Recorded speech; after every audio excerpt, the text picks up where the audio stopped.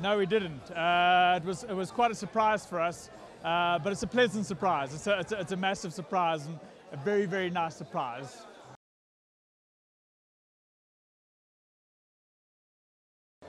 Massive. Uh, Media Shop's very privileged that this year we've won uh, all four of the major media awards out there. We won the Ad Review Award, the most awards, we won two of the most awards, and now AdFocus. So it means the world to the agency. Uh, it's, it's that reward that for the agency for all the hard work they do. You know, all, uh, we've got a staff of 150 people who put blood, sweat, and tears into every single day and pour so much into the business. So for them to win, it means the world.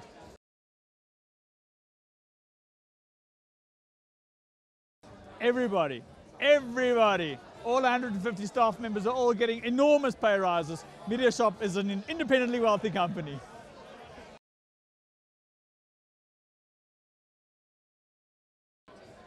Uh, well, I think tonight's still going to carry on for a little while. I think we're going to have a good celebration tonight. Uh, and then we're going to have a massive party tomorrow. And then I, I've decided, seeing that we want to AdFocus, we're going to give everybody the 25th of December off. And we're going to have a massive party on the 25th of December as well.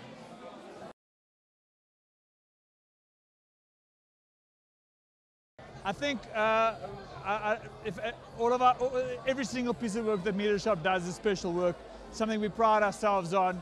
I think this year we've seen some special digital work. Uh, some of the work we did for Tiger Brands on a mobile perspective, Famous Brands from a mobile perspective. The digital mobile work's been absolutely phenomenal.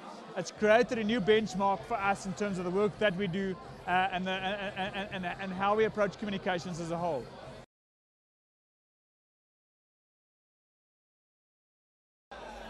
Uh, guys, this is your award. It's your hard work.